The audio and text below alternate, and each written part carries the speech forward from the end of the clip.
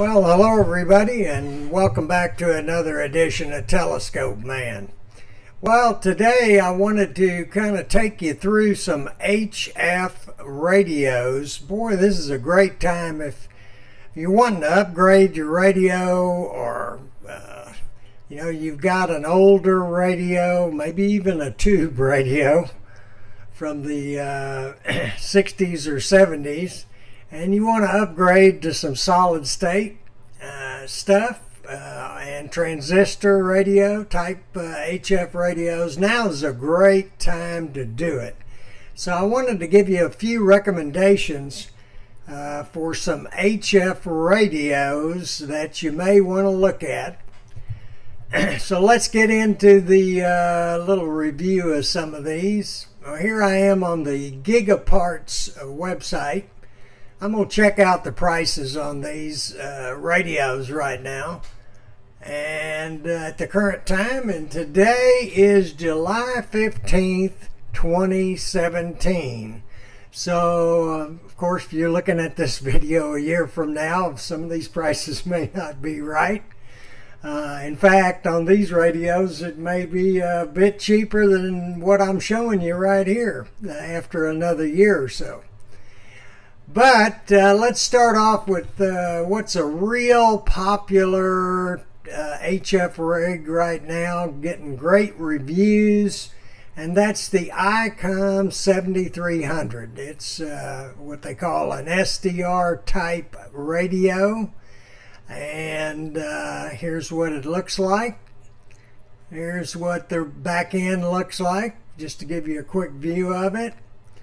And uh, of course, you could go to Gigaparts and just search for ICOM 7300 and see all this. So at this time, uh, they got a little deal on it, a little bit, and uh, it looks like they've got a rebate that gets the price down to $1249, $1,249.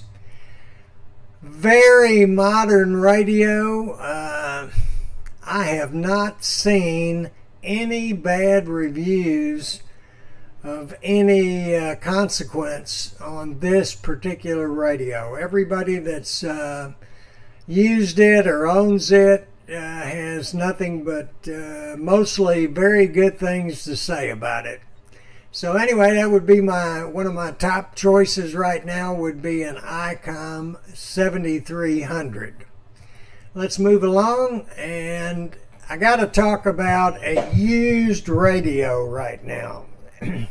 if you're interested in getting into a fully uh, software defined radio right now, Flex Radio, as I've said in some previous videos, has been taking uh, older Flex radios in trade, uh, refurbishing them, certifying them, and then reselling them on their site. So right now they've got uh, well they've got five thousands for sale and fifteen hundreds for sale on their website.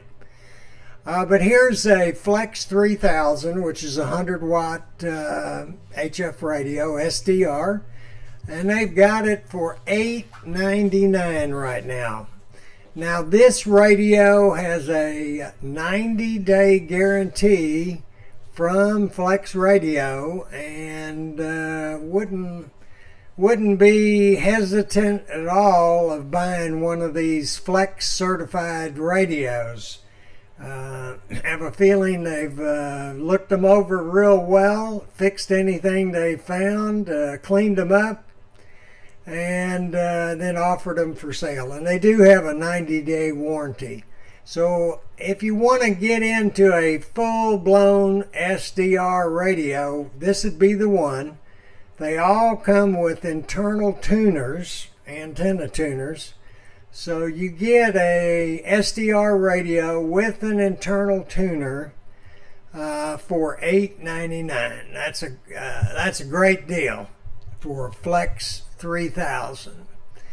All right, let's move on getting back to more traditional radio, uh, you know, the old Yaesu 857, 897 have been superseded now by the Yaesu 991A. 991A. here it is. Uh, it's uh, what I call an all band radio. You can see from 160 to 6 meters, and it also functions on 2 meter and 70 centimeter. And they've got a little discount going on over at Universal Radio and puts it at 1349 so if you're a Yaesu fan uh, this would probably be a great radio for you. Uh, again uh, I haven't heard anything bad about these radios. Uh, I think they had a few little bugs in the first ones that came out but from what I understand those have been corrected with some firmware updates so uh, I wouldn't hesitate in buying this if this appeals to you. So that would be another one of my recommendations, a Yaesu FT991A. And uh, looking back at a radio that's been around for a while now, uh, but uh, recently it's uh, gotten some big discounts from ICOM, and that's the ICOM 7100. Again, this is an all band radio, 100 watts. Uh, as you can see, 160 through 10 meters plus 6 plus 2 plus, uh, uh, 440. And uh, great price right now, 849 849 and this radio is uh, already D-Star capable. So you'll be able to uh, attach this to your computer and uh, or reach a D-Star repeater directly with RF and get on the D-Star network. So uh, boy, this is a, this is a great value right now, in my opinion. Uh, is this ICOM 7100? Now, some people don't like the uh, black and white type screen, and it is a touch screen. But other than that, uh, most everybody has said it works uh, very well, and uh, really no big deal problems with this radio that I've heard about. So at 849 over here, that's a great buy on a 7100. And uh, if you looking at these prices and you're saying, uh, boy, I don't have uh, 849. Well, then let me put you on to uh, a basic type HF radio that again has good reviews, seems to have a what's called a hot receive. Uh, and uh, it's available right now for 634 634 from DX Engineering and that's the ICOM IC718. Now I think they've got some upgrades that you can uh, put on top of this price. So if you're interested in this radio, I would read all about it uh, just to find out, uh, you know, is there a DSP board you can add to it or there's some additional uh, upgrades you can make to this radio before you have it shipped. So uh, do read about that before you settle on a 718. Make sure you get one the way you want it. Anyway, another good radio if you're uh, kind of money challenged. Uh, this would be a great first radio, HF radio for you. Would get you on the air at 100 watts uh, does not do 2 meter or 70 centimeter, but it does do all the HF bands. So again, that's the ICOM 718. And then finally, uh, if uh, you prefer a radio that you might want to take out into the field and do a lot of portable work with it, then uh, I would say uh, the ICOM 7200 might be your radio. Uh, notice the handles on it that protect the front end. And let's see if I can take a look at the back of this radio. Yeah, right here. And I don't know if you can notice this from the picture, but all these uh, buttons and uh, connections are recessed into the back of the radio so you can actually uh, set this radio up on its bottom vertically and not hurt any of the connections. It also incorporates the same, uh, I don't want to call it waterproofing, it's not waterproofing, but it, it contains the same gasketing, gaskets and things like that uh, in the buttons and the case that they're marine radios, the marine radios from ICOM uh, use.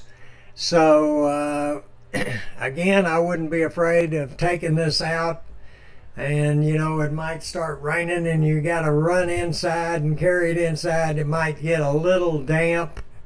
Uh, probably wouldn't do anything to this radio. So uh, would make a good uh, portable station that you can take out in the field and not have uh, so many worries about moisture or uh, splash resistance.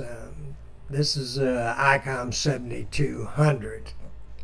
So anyway, right now, uh, today, there's a bunch of, right, this is not at all all-inclusive.